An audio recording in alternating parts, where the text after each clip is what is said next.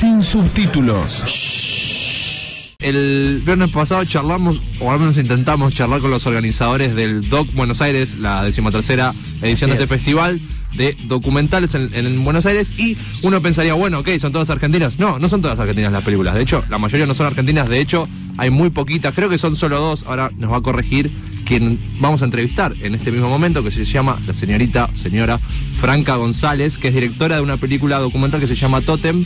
¿Qué tal, Franca? ¿Cómo estás? ¿Qué tal? ¿Cómo están ustedes? Todo bien, todo bien. ¿Vos? Bien, muy bien. Bien. Eh, es, uh, sos vos y, perdón, tu película Totem y la película Pescado Rabioso, las únicas argentinas, ¿puede ser? Exacto. Y a su vez Totem es la única que es estreno argentino.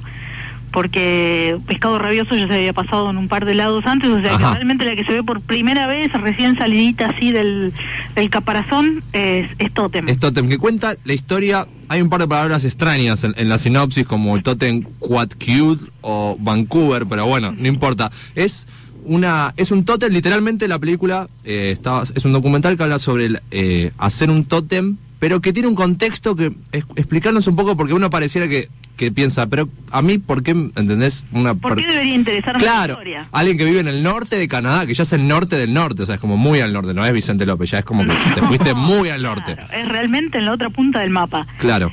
Bueno, pero esas cosas que en este mundo globalizado que nos terminan eh, generando puentes entre eh, cosas inesperadas. Hacer un puente, claro. Hicieron que, tal cual, eh, en el año 64 la Argentina recibiera un regalo de Canadá. 65.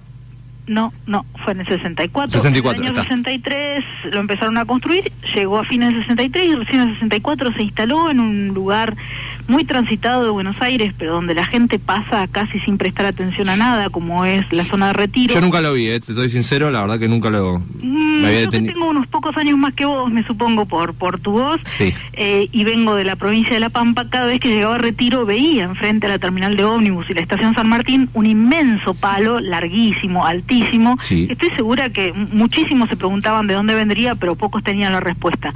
Bueno, eso era un tótem coaquiutl. El- la cultura coaquiutl es un pueblo originario del norte de la isla de Vancouver, cerquita del Golfo de Alaska, en el Pacífico Norte Sí. donde mm, eh, es toda una cultura de escultores de, de cedro rojo, de cedro colorado, que es un árbol que en esas zonas tan frías les tarda miles y miles de años de, de crecer. O sea que el tótem que había ahí, que Sí. medía más o menos como 23 metros, le había llevado entre 5.000 y 7.000 años llegar a tener esa altura Claro, es tremendo lo... antes de ser cortado y, y transformado en tótem.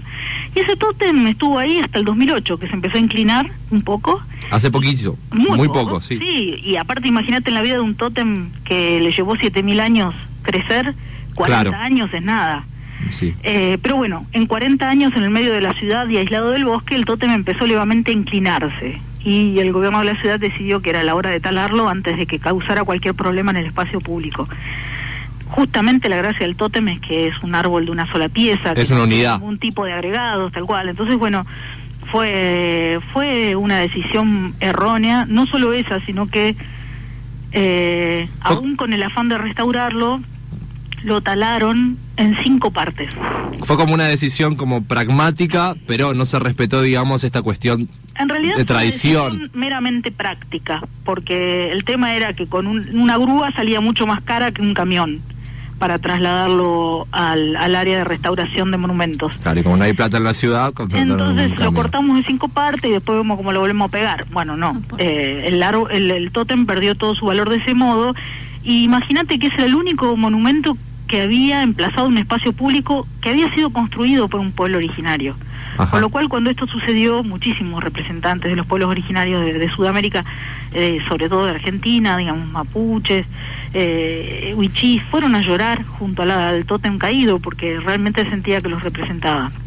Esto no solo generó un problema diplomático, sino también eh, un poco el disparador de mi película porque... Se mandó a hacer otro tótem, digamos, de ahí claro, se dispara la que- película. había que resolver este problema y se lograron localizar, la gente de Canadá logró localizar a quien fuera el hijo y nieto del tótem original, de Claro. quienes construyeron el tótem original. Claro. Entonces, en realidad, yo viajo a ese lugar tan particular eh, en el medio del Pacífico para ir a encontrarme con este señor que se llama Stan Hunt y que es el protagonista de mi película con la idea de poder filmar un poco el, el desarrollo de este de esta, de, esta nueva obra, que para él era la gran obra de su vida. Imagínate reemplazar la obra de su padre y de su abuelo en una cultura donde todo lo hereditario y lo consuetudinario tienen tanta, tanta, tanto valor, ¿no?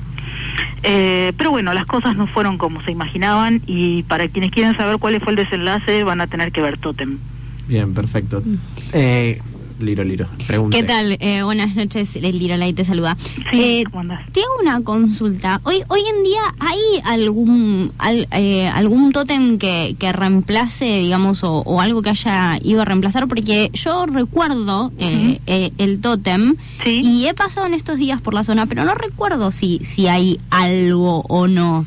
Yo te diría que antes de volver a pasar por la zona trates de ver la película. Bueno. Porque un poco es, eh, digamos, es, es como los cuentos para niños, por más que uno conozca el final, siempre tienen valor volver a escucharlos. Exactamente. Pero creo que efectivamente hay un nuevo tótem en la Plaza Canadá, después de muchas idas y vueltas, y creo que cuanto más uno sabe de todo el contexto o de todas las historias que hay atrás de cualquiera de estos elementos que nos rodean en la ciudad, es mucho más rico poder enfrentarse a ellos. Sí, es súper es, súper interesante porque además eh, seguramente muchísimas personas lo han visto y nadie sabía, digamos, eh, cuál era el origen y, la verdad es súper interesante. Ah, bueno, ojalá lo puedas ver pronto. Y, y, Franca, ¿cómo fue la recepción? ¿Tuviste ahí en la proyección del, del film? ¿Cómo fue, digamos, el festival? ¿Qué, qué estuvo bueno? ¿Cómo fue la recepción de tu film? ¿Cómo lo sentiste? O, fue maravilloso. Siempre presentar una nueva película es como, no sé, para mí es casi como tener un hijo, te digo, porque es mucho tiempo de gestación y uno, por lo menos yo, si bien ya tengo varias películas en, en mi haber, siempre es como la primera vez, ¿viste? Es de muchísima exposición. Los directores de cine todo el tiempo hacemos cosas que necesitamos la aprobación o no de los otros, o sea, la mirada de los otros es, es muy fuerte. Es fundamental, Es fundamental. Entonces, estamos siempre pendientes de esa primera reacción, que es la primera proyección. Bueno, bueno, y bueno, y fue a sala llena y yo creo que a la gente le gustó mucho y, y esto también me da expectativas para poder estrenarla mm, por lo menos en los espacios Inca. Eso, te iba a preguntar. Que para los documentales es como muy difícil la salida en sala. ¿Y cómo viene? ¿Tenés algún ¿Ya tenés definido algo? En cualquier momento vamos a tener novedades. Por bueno. en el verano se puede ver Totem en el Gomón. Bueno, bien, cualquier cosa vamos a volver a llamarte para que nos vuelvas a contar sobre el estreno y todo. Ahora, eh, te agradecemos la comunicación franca, en serio, por contarnos un poco de la peli, por contarnos un poco del festival, sobre todo de, esta cuestión de, del pueblo originario montando algo en el medio de la ciudad, ¿no es cierto? Exacto. Bueno, muchas gracias Franca, te mandamos un beso muy grande y gracias de verdad por difundir nuestra, nuestros trabajos porque si el cine no se difunde nadie va a verlo. Bueno, Así que muchas gracias. Para eso estamos, gracias. Adiós. Adiós. Bien, ahí pasaba Franca González, directora del documental Totem. Sin subtítulos. En tu idioma.